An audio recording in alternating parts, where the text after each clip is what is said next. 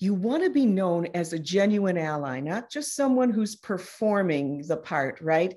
Well, think of it as a tough job interview. You're being vetted for trust. People want to know your knowledge level. What do you know about history? What do you know about current events?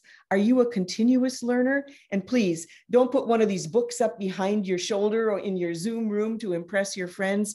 You're doing it privately. You're taking in information. You're judged by your behavior. You're judged by your unselfishness. Are you going to stick with this if it gets risky and you get pushback from powerful or biased people?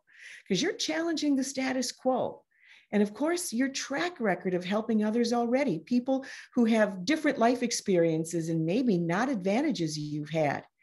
Only then will credible voices vouch for you. Remember, when it comes to allyship, you're not a hero, you're a helper.